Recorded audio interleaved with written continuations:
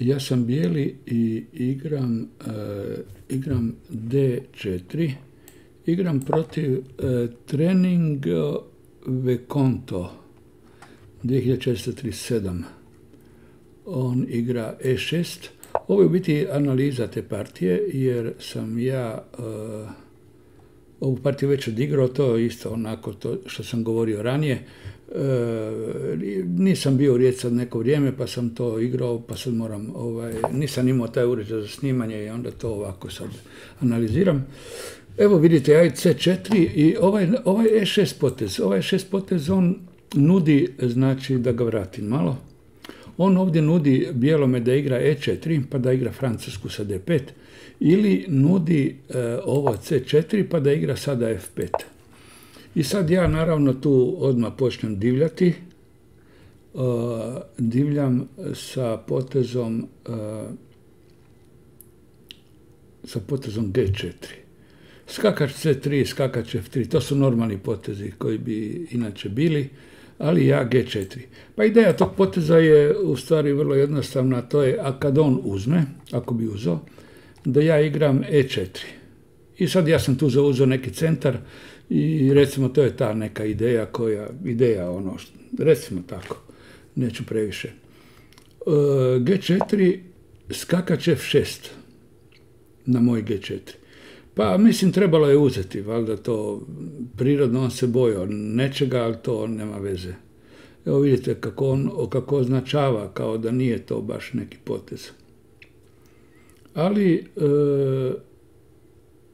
ja G5 ja sam tu mogao isto tako i uzeti GF5, GF5, GF5, ali ja nastavim sada potrošiti, znači da vidim gdje će taj skakač. Skakač se vraća na G8, to je totalno bez veze potez. E, prirodno je skakač na E4, ne može baš ovdje na H5. Na E4 bi bilo prirodno, ali e, nakon skakač G8 ili skakač E4 to bi bila podnošljiva pozicija ja skakač C3. Sad odjednom ja počnem igrati normalno. Ja tu kontroliram nekako centar, što se kaže, e, razvio sam sada skakača i ovaj, ovaj pješak u stvari on koči e, danji razvoj bijelog, e, crnog. Ali da vidimo, lovac B4, tama B3, pa to je potez, i taj potez igram zbog toga da mi baš ne odvaja pješake. Crni igra 5 i ja e, A3. I sad on tu nađe odličan potez kojeg nisam ja u primah vidio, naime nisam ga želio ni provjeravati, on igra A4. I sad šta se događa kad bi ja uzeo ovog na B4? Pa vjerojatno bi imao problema sa damom nakon skakač na C6. Znači, dama bi bila zarobljena, sad gledamo malo na pamet kako bi to išlo. Znači, dama je na B4, skakač C6, ne mogu natrag, moram na C5 i sad jednostavno D6 i, i dama je u klopci. Ili samo malo. Mogu bi na B5, ali onda to pa 5 rješava. Znači, izgubio bi damu. I zato ja vrlo, vrlo pametno i mudro natrag, natrag i sad on lovac C3 i ja dame C3. Uzimam damom, ovo polje mi je sad slabo, ja uzimam sada to damom, e, zbog čega sam i došao damom na B3. Znači da ne bi udvajao pješake, ovaj pješake. Ovi udvojeni pješaci kad su ovako i kad meni ostane crnopoljac, pa to može biti ovako nezgrapno. Ovaj, ovaj crnopoljac je uvijek malo ono, e, po crnim poljima se baš ne može igrati i onda malo smeta. Sa skakač C6, to je greška, kako kažu i, i knjige, odnosno kako označava. E, pa prirodno je bilo e, skakač na E7, ali e, sad ja igram potez ovaj, D5. Ja volim taj potez igrati, mogu sam odmah D5 u stvari. Igram skakač F3. A trebalo je igrati D5, zašto D5? Jer kad uzme, ja onda uzmem ovdje i odmah je gotovo. Eto, ja to nisam igrao volim, e, malo sam postao rob ovog svog, svog učenja, da treba šta prije razvijati figure. Tako da e, na skakač C6 ja sam skakač F3. E, znači odmah je dobivalo D5.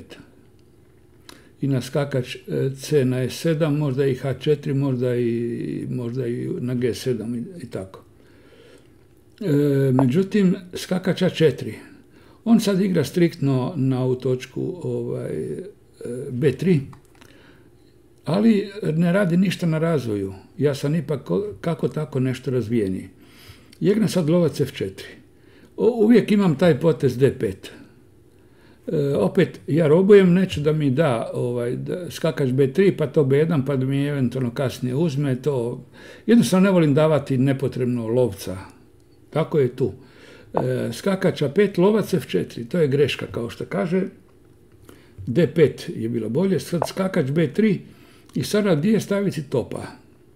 Pa nisam htio tu na B1 jer je bez veze. Na dva naravno bez veze i top D1 je regularan potez koji bi svako stvari igrao svako od vas.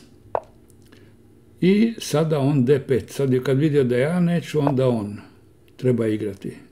Ali nije ni on. On igra B6. Opet greška. Velika greška.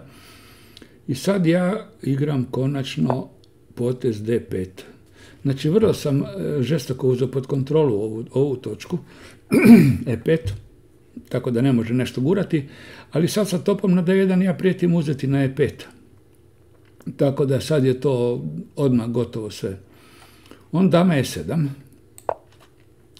I ja e, uzimam sada ovog pišaka. U čemu je stvar? Jer na D6 ne može mi ga uloviti jer ja igram e, na D6. Na B6 uzimam. I sad uvijek imam povratak negdje. On lovac B7.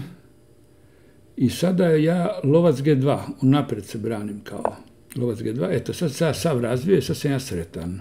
Jer mogu odmah ići u rokadu i to je sve ono u skladu kako ja to ovaj, rezoniram. On igra dama C5, dama C5, a ja D6. Naravno, ja sad mogu dati lovca, mogu se ja sad praviti mangup kad visi ovdje, ovdje top. To jedno, ali ja bi čak prije možda igrao top D7, pa onda ovaj, tu i tako, to je ovaj, on e, skakač na 7 ja dama G7. Sad u čemu je stvar? Sad je stvar u tome da prijeti dama je top F7 mat. I tu nema šta, to je ovaj, on, on je tu dao ovaj šah, nema nikakve tu obrane od ovoga na D6, znači prijeti ovaj, ovi šah da topa pa dama H7 i tako. To je mat u kratkom broju poteza dama na A5 i ja kraljev 1 i tu je crni predao. Znači to je igrač 2637 uh, eh, i tako, šta reći o toj partiji, ništa posebno, znači totalno drugorazredni igrač po načinu kako je igrao. Ne možda po rejtingu i tako, ali igrao je vrlo, vrlo loše. Pa eto, ništa, što da kažem, komentirajte malo, vidite da ovo je jedan sasvim drugčiji komentar nego inače i idemo dalje. Nadam se da vas dopala partija, nadam se da će neko se ovaj novi upisati na moj kanal i ja vas pozdravljam do sljedeće partije.